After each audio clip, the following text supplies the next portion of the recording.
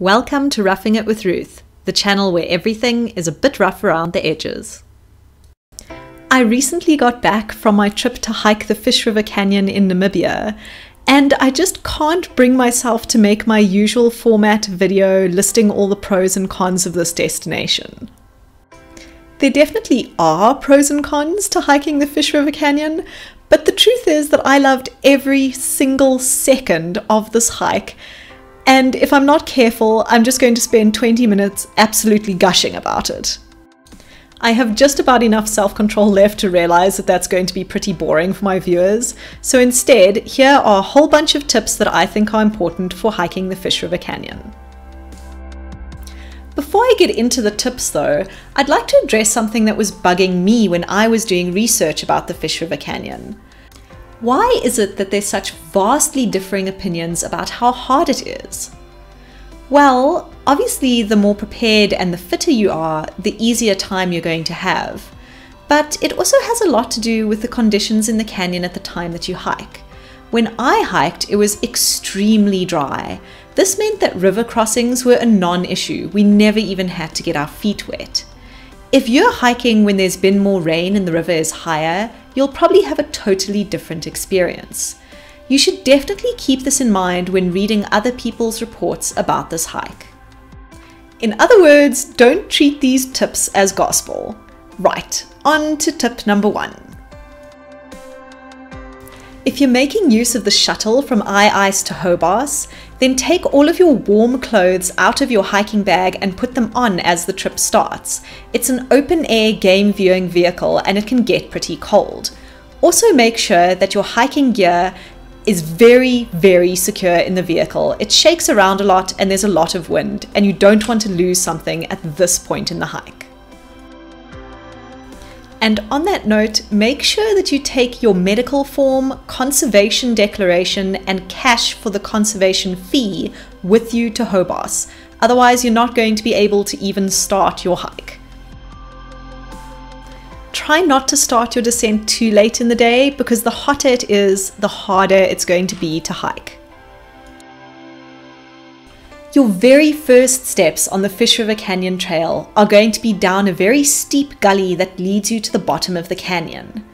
I think this is why so many people complain that the first day is the hardest. It's honestly not the hardest.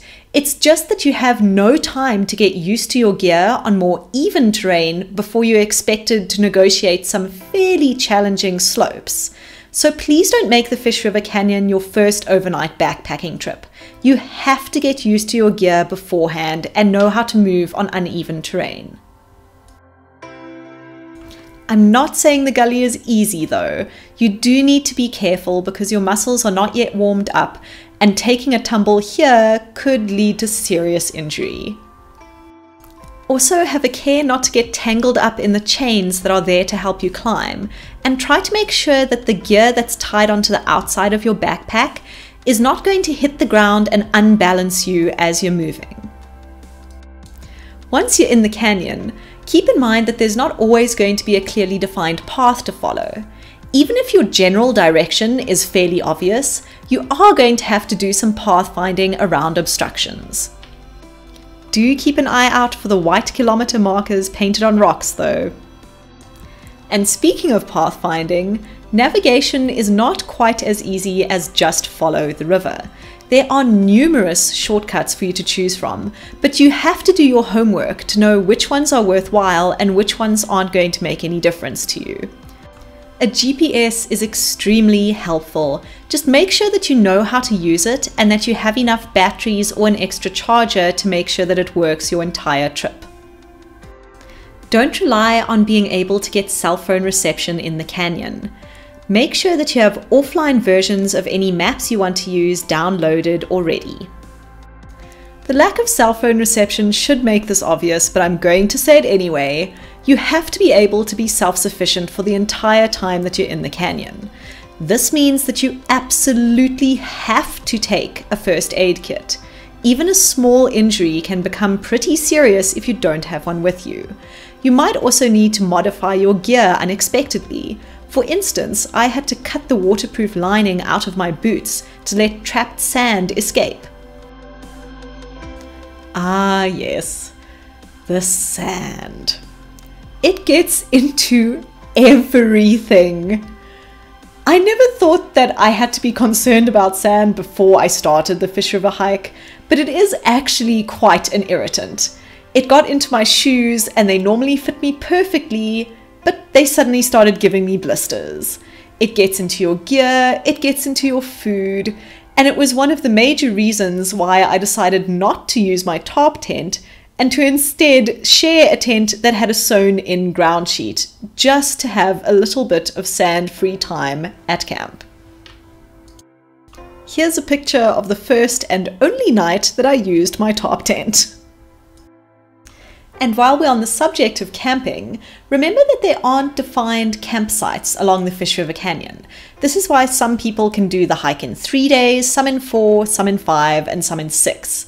So don't force yourself to camp before you're ready. Just find a nice spot that agrees with the distances that you're able to do per day.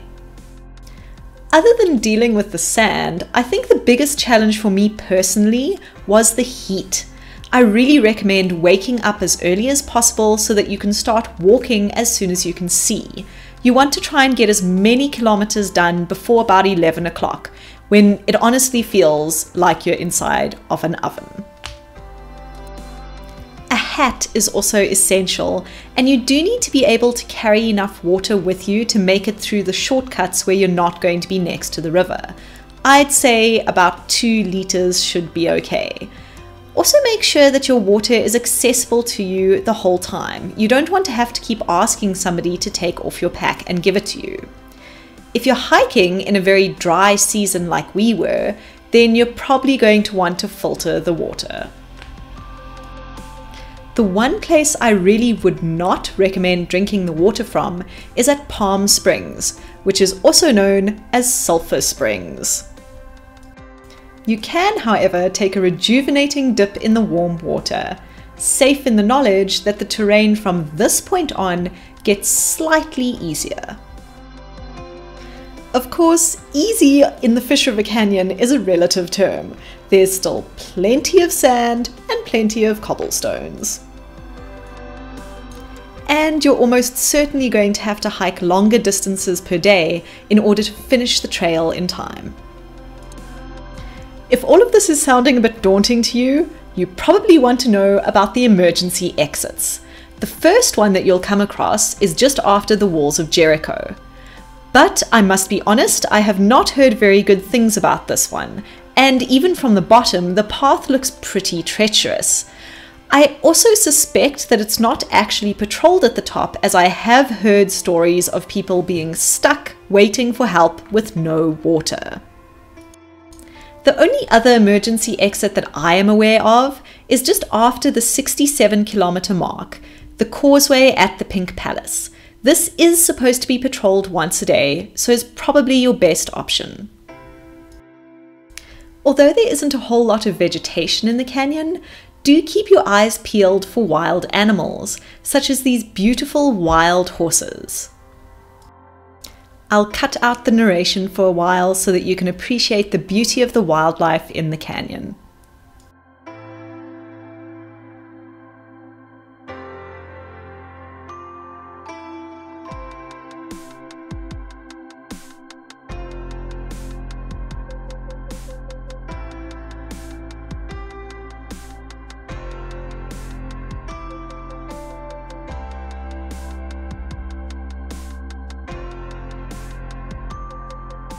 So, should you do the Fish River Canyon?